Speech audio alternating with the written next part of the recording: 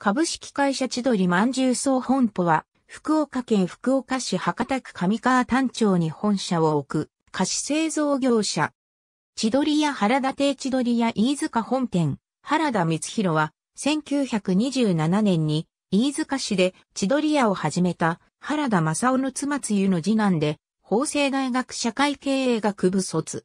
1964年に菓子修行のためドイツへ渡り、修行先の菓子店の娘ウルズラと知り合い、結婚。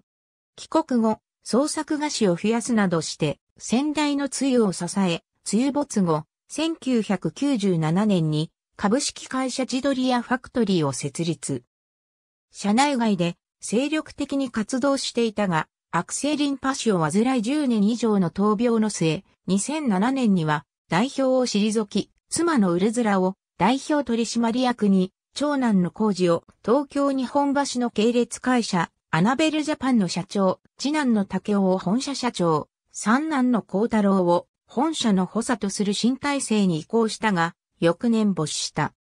他、原田光弘、千鳥マン中総本舗社長福岡経済2006年11月号、原田ウルズラ株式会社千鳥まんじゅう総本舗会長、ビズレットオンライン、2018ボリューム47、ハット AB、追悼、千鳥まんじゅう総本舗、原田光弘会長行くネット IB ニュース、2008年7月10日。ありがとうございます。